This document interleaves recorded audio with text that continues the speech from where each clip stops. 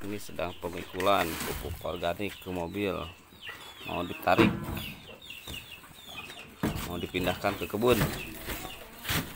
Nah.